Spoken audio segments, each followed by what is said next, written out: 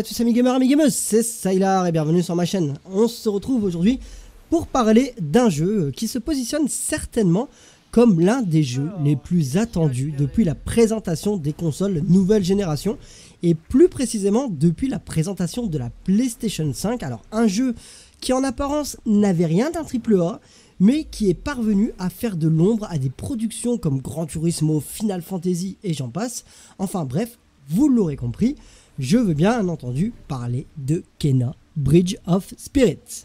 Alors honnêtement, je sais pas par quoi commencer, tellement il y aurait de choses à dire sur le jeu. Ce qui est certain, c'est que je vais m'abstenir de vous créer un faux suspense hein, dans cette vidéo autour d'un thème comme faut-il, oui ou non, acheter le jeu? Tout simplement parce que ce jeu, il est tout simplement euh, magnifique, hein, on va pas se mentir.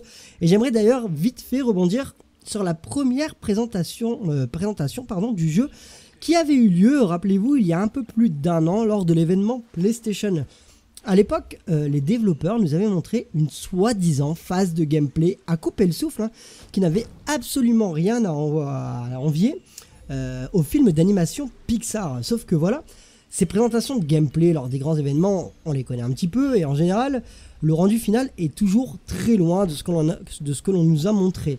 Il suffit de se rappeler par exemple de Watch Dogs, de The Division ou encore plus récemment Cyberpunk, hein, qui sont des titres euh, de qualité, hein, mais très loin en termes de rendu final comparé à ce qui nous avait été montré euh, au préalable. Enfin voilà, si je vous parle de ça, c'est tout simplement parce que contrairement à ces gros titres issus de très très gros studios, Kena, euh, Bridge of Spirit, lui, ne nous a pas menti. Hein. Dès les premières heures de jeu, vous risquez d'être bluffé par le rendu, les panoramas que le titre a à vous offrir.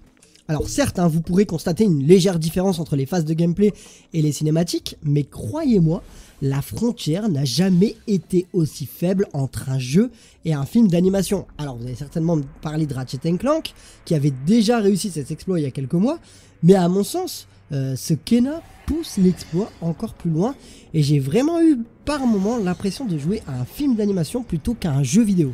Pour autant, euh, vous savez, je dois malgré tout avouer que j'ai eu des doutes sur la réelle qualité du jeu, euh, tout simplement parce que dans un premier temps, mis à part quelques petites phases de gameplay qu'on a eu pu voir par-ci par-là, la communication autour du titre a été particulièrement désastreuse, je trouve. Dans un premier temps prévu à la sortie de la PlayStation 5, le titre a été plusieurs fois, à plusieurs reprises repoussé sans qu'on l'on sache réellement pourquoi et aucune information nous avait été communiquée sur la, durée de vie, pardon, le gameplay et les mécanismes. Enfin bref, les développeurs nous avaient laissé complètement dans le flou et la seule chose auquel on pouvait encore s'accrocher, c'est que Sony avait l'air de donner énormément de crédit au titre. Autre surprise également, c'est qu'il était annoncé que le jeu devait sortir en version démat, ce qui était assez surprenant vu la hype, la hype pardon, qu'il y avait autour du titre, et ça même si encore une fois il s'agit d'un jeu indépendant.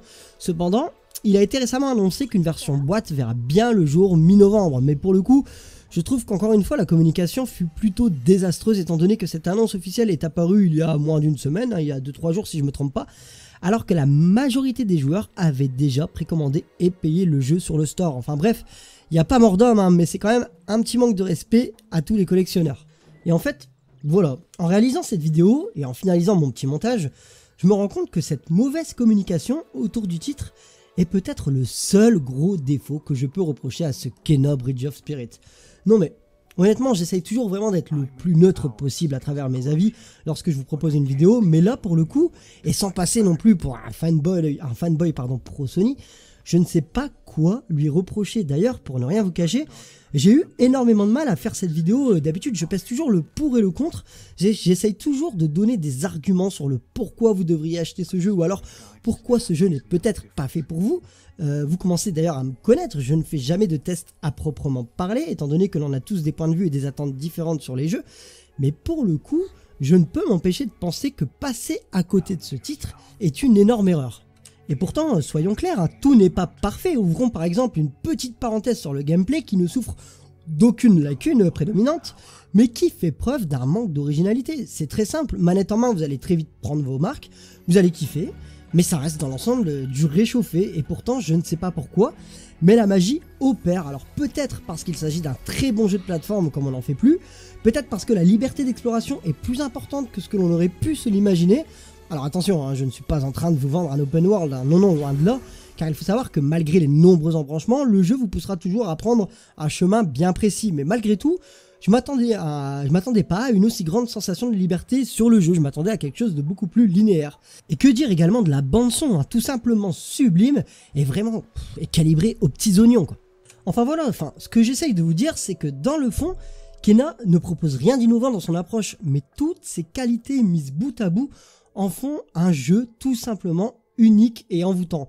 Et la cerise sur le gâteau, c'est que le tout est construit autour d'une mignonnerie. Alors, je sais, ça veut absolument rien dire, mais vous allez complètement craquer pour l'univers et ces petites créatures que l'on appelle les rots, si mes souvenirs sont bons, et qui sont au cœur de l'histoire du jeu. Et que dire bah, de la petite Kena, la petite aventurière que vous allez contrôler, qui est tout simplement modélisée à la perfection avec des expressions du visage qui risquent de vous faire complètement craquer.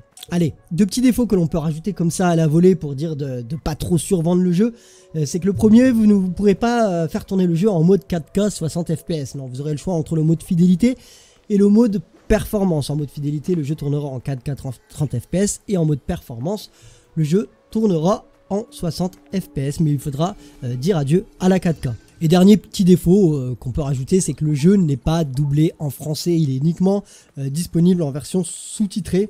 Donc ça, bon, libre à vous de vous faire, de vous faire pardon, votre propre opinion. Je sais que pour certains c'est dommageable, pour d'autres vous n'y verrez absolument aucun inconvénient, ce qui est mon code.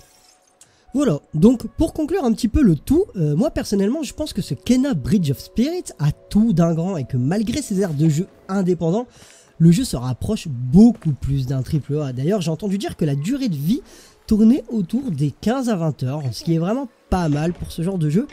Je pense également que nous sommes à l'aube d'une nouvelle licence phare de Sony, comme a pu l'être euh, Spyro, Crash Bandicoot et bien d'autres. Alors attention, on est qu'au stade de l'exclusivité temporaire. D'ailleurs, il faut savoir que le jeu est également disponible sur PC. Mais je pense que Sony aurait tout intérêt à racheter le studio. Alors peut-être que c'est moi qui m'enflamme un petit peu, mais je vois vraiment un avenir radieux autour de la licence, car pour moi, tous les éléments sont réunis pour faire de la petite Kena la nouvelle coqueluche des pros Sony. Voilà, j'espère que cette vidéo vous a plu, n'hésitez pas à commenter et me donner votre point de vue sur le titre.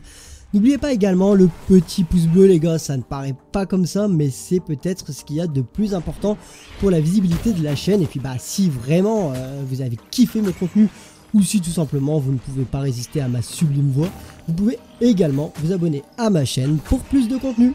Voilà, merci encore d'avoir pris le temps de visionner ma vidéo et à très bientôt pour de nouvelles aventures. C'était Sailor, tchuss